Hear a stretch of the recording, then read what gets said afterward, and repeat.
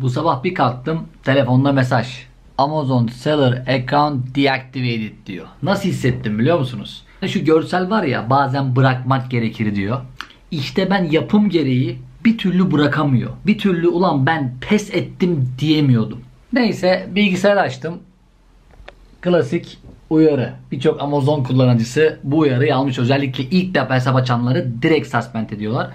Buradan Reactivate your account. Dediğinizde dostlarım size böyle bir sayfa çıkartıyor ve sizden aksiyon planı yazmanızı istiyor işte. Geleceksiniz güya şu şu oldu bu bu oldu bu bu oldu bundan kapatıldı falan filan deyip göndereceksiniz. Ben bunun artık bir işaret olduğunu düşünerek bu aksiyon planını göndermedim. Ve Amazon defterini kendi kafamda kapattım. Bunu kapatmamın sebebi iki önceki videoda ürünümüzün batış sebebini anlattığımda söylediğim sebeplerle aynı. İplerin sürekli başkalarının elinde olması. Zaten videoyu izlediniz. 2020'de 400 bin dolar. 2021'de e, zaten azalan grafiği göreceksiniz şurada görmüş olduğunuz gibi. 287 bin. Bu aradaki screenshot değil yani bu şey. Onun ismi neydi? Şöyle girebiliyorsunuz içine. 287 bin dolarla artık Amazon konusundaki hırsımı ve merakımı kafamda sonlandırıyorum. Şimdi siz hali hazırda Amazon yapanlar suspend olmamak için şuna dikkat edeceksiniz. Girdiğiniz her ürünü farklı bir Amazon hesabına bölün. Çünkü biz daha önce birkaç üründen sorun yaşamıştık. Onlar violation olarak aşağılara gelmişti. En sonunda bu üründe sizin ürününüzün içinde uyuşturucu var dedikleri ve ürünü kapattıkları için zaten account flag yemişti.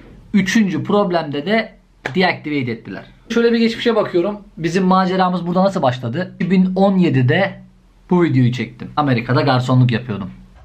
Bu şekilde. Yani kolay değil atıyorum.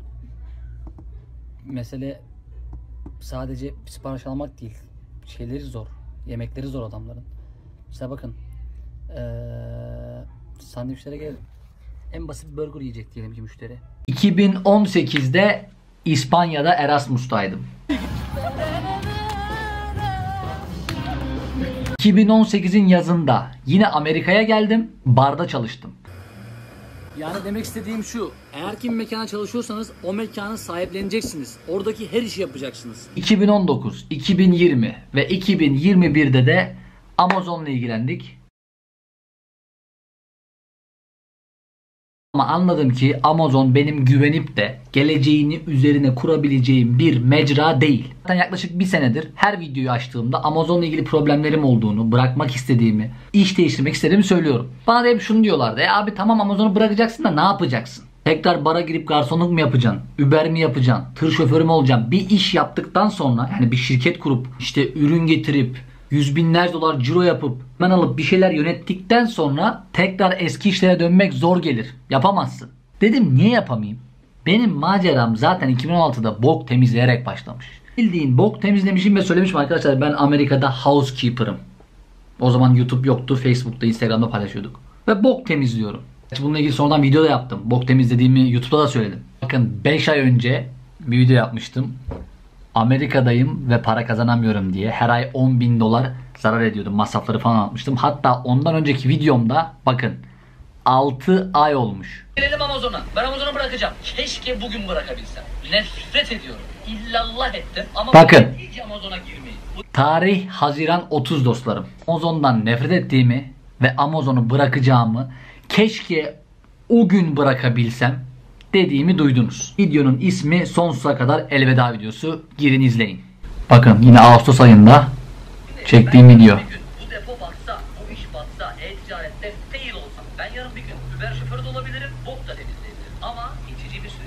Dostlarım bu kanalda verdiğim bütün motivasyon videolarında bahsettiğim bir numaralı şey. Boks maçında hatırlayın kemik hatırladı yere düştüğünde değil ayağa kalkmadığında inilirsin. Yani iki boksör kapışır. Hani birisi ne oluyor lan? Hani birisi yumruğu yer yere düşer kapaklanır böyle. Hakem gelir bakar ya böyle sayar falan. Adam orada henüz yenilmemiştir. Ayağa kalkıp devam edebilir. O maçı kazanabilir. Ama ayağa kalkamazsa yenilir. Joker'in de şarkısında söylediği gibi hayat mücadeleyi gerektirir. Sen nereye gitsen de. Yani şöyle düşünün. Bugün Fenerbahçe Başkanı Ali Koç'un mücadele etmesi lazım. Fenerbahçe Teknik Direktörü İsmail Kartal geldi. Hoş geldi. Mücadele etmesi lazım. Topçuların mücadele etmesi lazım. Cumhurbaşkanının mücadele etmesi lazım. Amerika'da 2016'da bok temizleyen Oğuzhan'ın and Travel'da mücadele etmesi lazım. Boya yapan İdris Usta'nın mücadele etmesi lazım. Hiçbir işten gocunma lüksümüz yok. Ben bu işi yapamam deme lüksümüz yok. Ha, kolay mı? Tabii ki değil. 2 sene boyunca ben pişman da değilim. Yani Allah belanı versin Amazon keşke sana bulaşmasaydık falan demiyorum. Biz neler öğrendik? Neler tecrübe ettik? Neler yaşadık? Yani saati 9 dolara bok temizlerken ya da 11 dolara masa silerken 300 bin 400 bin dolar cirolardan bahsetmek bunları yapmak kolay mesele değil. Ha, ciro muhabbetine gelince bazı işletmeden ve ticaretten hiç anlamayan işçi kafasında sadece düşünen insanlar şunu diyor. Ya 400 bin dolar ciro yaptın abi senin karın ne? Karlılığın azsa bunun bir önemi yok. Arkadaşlar Amazon'da ya kime giderseniz kime sorarsanız sorun. Karlılık her zaman %20 %25'tir. Çünkü zaten o 400 bin doların 200 bin dolarını bir kere Amazon alır. FBA fee alır. Referral fee alır. Storage fee alır. Pick pack fee alır. 50 tane fee'si var adamın. Geriye sana kalır %50. Sen bu %50'nin %20 ile %30'unu da ürüne verirsin. Yani şöyle düşünün. 10 dolarlık bir ürün üzerinden 400 bin dolar ciro yaptığınızı düşünün. Bunun 5 doların Amazon kesti. 5 dolar kaldı sizde. 200 bin dolar ama her biri 5 dolar 5 dolar 5 dolar geldi. Bu 5'in de 2,5'u ürünü aldığınız yere ve kargocuya gider. Yani 1-1,5 dolar ürün ürettirmişsinizdir. 10 dolara sattığınız bir ürünü. Şu an kargo fiyatları hatta 50 sent 1 lirada işte ürünün ağırlığına göre gelişi tutar. Bunun lansmanını hiç saymıyorum. Bir de reklam maliyeti var onu da saymıyorum PPC'yi. 2,5 dolar para kalır. Ya da 2 dolar. Yani %20. Bu %20 üzerinden de %30 ile %35 arası vergi ödersiniz. Amerikan hükümetine. Ama işletme kafasıyla düşünen bir adam işletmesi daha yeniyken birinci, ikinci, üçüncü senesinde hiçbir zaman karlılığa odaklanmaz. İlk başta ciroyu büyütmeye odaklanırsın. İlk sene 80 bin dolar yaptık. Sonra 400 bin dolar yaptık. Ne dedik? Biz bunu 1 milyon dolar yapalım. 2 milyon dolar yapalım. Ondan sonra 2 milyon, 3 milyon, 5 milyon dolar cirolarda ya da ileride kuracağımız işlerde göreceksiniz.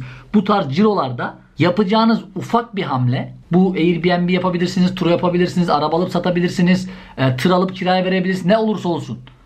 Yapacağınız ufak hamleler size yüz binlerce dolar ekstra kar getirir. Yani demek istediğim olay ilk başta odaklamamız gereken şey ciroyu büyütmek, ondan sonra karlılığı arttırmaktır. Dostlarım ben geleceğe dair çok hayal kurarım. Çok hedef kurarım. Bunlar gerçekleştiğinde arkadaşlar bu hedefimi gerçekleştirdim. İşte örnek veriyorum Santiago Bernabeu'da Real Madrid Barcelona maçını izlemek istiyordum. El Clasico, Ronaldo, Messi. Bir daha da izleyemezsiniz zaten. Ronaldo ve Messi'yi Real Madrid Barcelona'da görmek zor. Gerçekleştirdim. Ve dedim ki bakın bir hayalimi daha gerçekleştirdim. Bundan bir sene önce 500 bin dolar ciro yapacağım dediğimde yapamadım. 397 bin dolar civarında kalmış yanlış hatırlamıyorsam. Onun da videosunu çektim. Arkadaşlar böyle böyle başaramadım diye. Çünkü hayat tüm istediklerimizi bize verme üzerine kurulu değildir. Siz plan yaparken hani hayat gülermiş diye bir laf var ya. Hayat siz plan yaparken başınıza gelen olaylardır. Bizim de kaderimizi bu olaylara verdiğimiz tepkiler belirler. Senin ne yaptığın değil, senin başına gelen şeye nasıl reaksiyon gösterdiğin. Anlatabiliyor muyum? Ben bundan bir sene önce başaramadığımda da başaramadım dedim bu video. Bundan 5 ay önce işler yolundayken tam böyle karlılığa geçmeye çalışırken eğer ki geçemezsek de fail olursak batarsak bu iş olmazsa yine mücadele devam dedim. Sonuçta Amazon'la veya yaptığımız herhangi bir şirketle sözleşme mi imzaladık? Ölene kadar bana para getireceksin. Diyelim ki siz bir iş yapmak istiyorsunuz. Paranız var. 100 bin, 200 bin, 300 bin, 400 bin dolar. Türkiye'de bir fitness salonu açtınız. Türkiye'de bir tekstil üretim merkezi veya Türkiye'de bir lokanta açtınız. Tutmadı. Olmadı. Ya yani sizden kaynaklı veya dışarıdan kaynaklı pandemi geldi, bir şey oldu, hükümet bir şeyler arttırdı, ne bileyim zam geldi, kriz çıktı veya siz beceremediniz işi. Siz işi sevemediniz, yapamadınız. Size göre değil. Olay battı. Ne yapacaksınız? Ha, lokanta battı.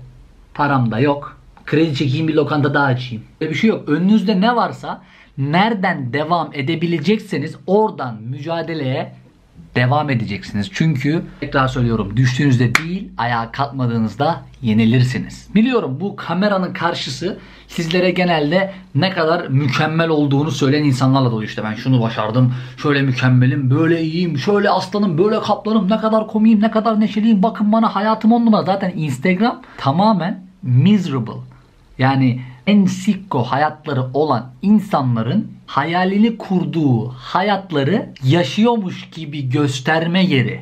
O yüzden ben Instagram'dan soğudum. Twitter'da 7-24 aktifim. Gelin diyorum Twitter'a laptoplu gezgin. Çünkü Twitter'da aa bugün fondi yedim, aa bugün panna cotta yedim, aa bugün şu sahildeyim olayı yok. Düşünceler sadece. Ama Bazen oluyordur size de moraliniz falan bozuk olur. Instagram'a giriyorsunuz şöyle bir bakıyorsunuz. O gülüyor, o eğleniyor, o rakı balıkta, o bilmem nerede. O ne oluyor lan diyorsunuz. Hayat bu kadar güzel mi? Hani Aziz Yıldırım diyor ya. Güzel hayatınız varmış sizin ya. Bizim hayatımız stresli maalesef. Değil arkadaşlar. Orası bir show dünyası, show business.